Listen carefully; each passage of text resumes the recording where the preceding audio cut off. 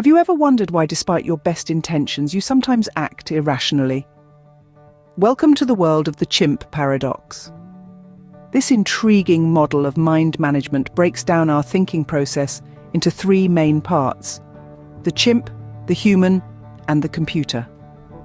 The chimp, a primitive system within our brain, operates on feelings and impressions.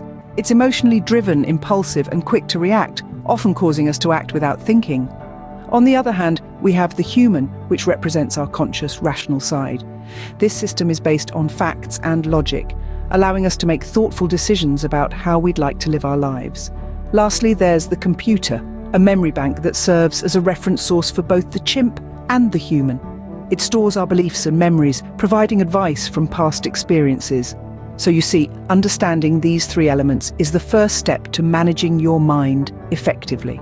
Now that you understand the chimp paradox, how can you use this knowledge to improve your life? Awareness is the first step.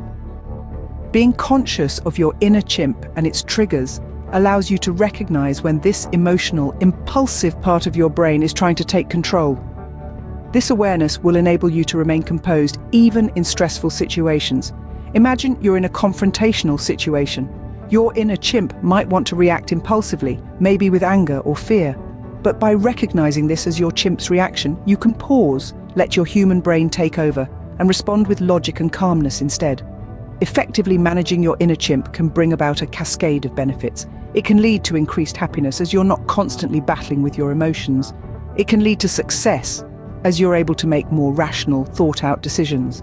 Remember, managing your inner chimp isn't about suppressing it, but rather understanding and working with it.